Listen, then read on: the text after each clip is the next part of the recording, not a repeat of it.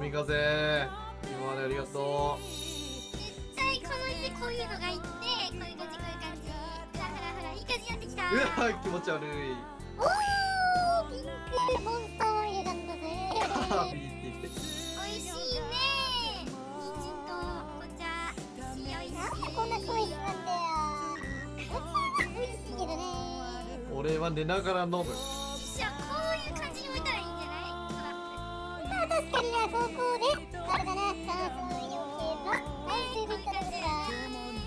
何やってんだお前おい全部で